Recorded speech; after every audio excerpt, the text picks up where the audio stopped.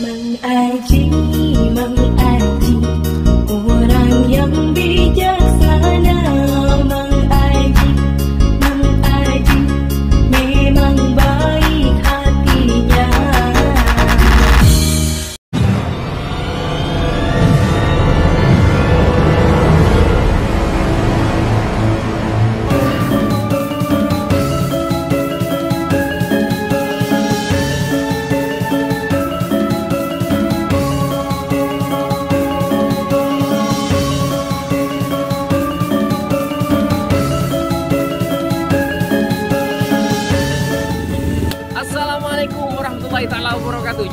lagi dengan Mangaji Channel. Mengajarkan kembali mengintip, melihat, memanjakan mata mengaji untuk melihat bagaimana indahnya mempesonanya bonsai-bonsai yang ada di Pamnas Muara ini Bumi Serasan Sekundang. Welcome to Bumi Serasan Sekundang Muara ini. Let's go guys.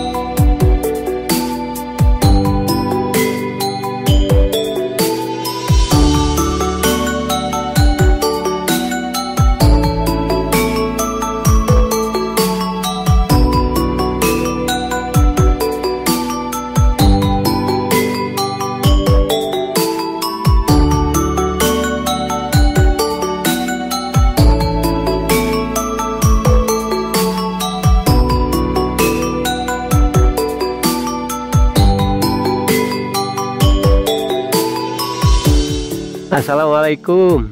Bang Haji, selamat siang. Saya Pamaya Rusmayadi Anggota Dewan Juri PPBI yang tugas kemarin di Pamnas Muaranim Mau menjawab pertanyaan Bang Haji Bagaimana cara menilai bonsai?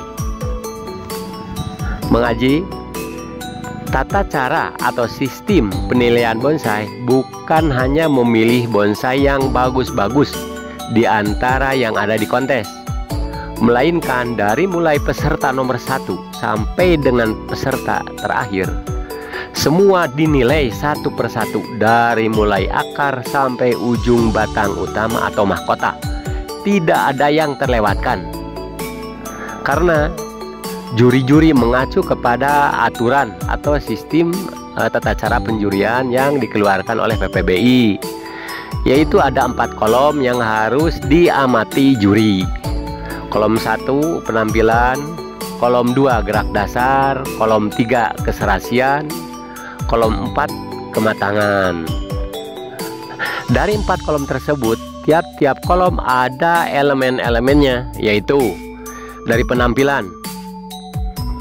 Ada realitas alam, ada keseimbangan visual, ada kesan pesan. Kolom 2 gerak dasar itu ada gaya, karakter, alur gerak. Kolom 3 keserasian ada komposisi, dimensi, proporsi, perspektif, harmoni, dan peletakan di pot. Kolom 4 kematangan ada tahapan anatomi, keseimbangan anatomi, kesan tua, dan kesehatan. Jadi uh, semua ada 16 elemen dari tiap-tiap elemen ada lagi isi-isi dari elemen tersebut. Jadi mohon maaf Bang Haji, uh, saya tidak bisa menjelaskan semuanya pada saat ini. Insya Allah lain kali uh, saya bisa menjelaskan isi daripada elemen-elemen tersebut. Hanya satu contoh saja. Di kolom satu penampilan kan ada realitas alam, ada eh, keseimbangan visual dan ada eh, kesan pesan. Nah, realitas alam yang dimaksud dengan re, eh, realitas alam, jadi fenomena pohon yang ada di alam adalah kesan alami. Jadi, kesan alami inilah yang ditiru untuk diterapkan atau direalisasikan ke dalam hasil karya berupa seni bonsai dengan cara bantuan teknik seperti dengan pengawatan dan lain-lain. Namun, hasil akhir dari pelakuan teknik tadi harus sudah nampak sealami mungkin. Jadi, bonsai yang ditampilkan harus benar-benar sealami mungkin, seolah-olah tidak ada campur tangan manusia. Padahal, eh, seni bonsai itu selain daripada proses alam, sebagian besar adalah hasil rekayasa atau buatan manusia.